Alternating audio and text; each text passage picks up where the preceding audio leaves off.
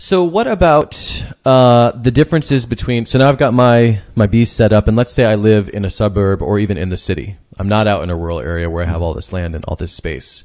What are some of the different considerations and constraints for doing it in an area that's that's more populated?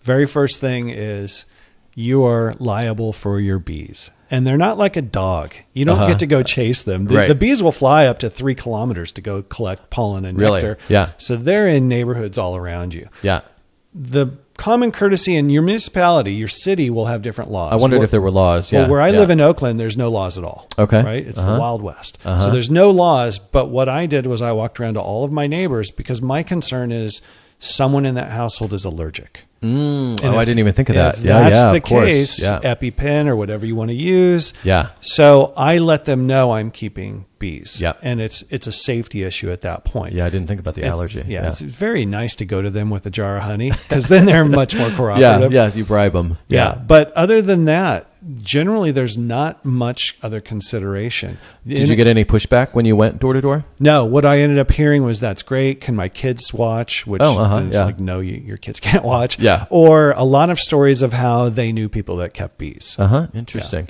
Because I volunteered. This was a few years ago. I volunteered. There was a temporary on a vacant lot that's no longer there. There was a temporary garden, and it was to teach kids and locals about gardening. and And they brought in some hives. Well, the hives got vandalized, hmm. and so I thought, you know, my reaction to that was, well, what? What are, the neighbors weren't happy to have the hives there, and I thought, well, what's the?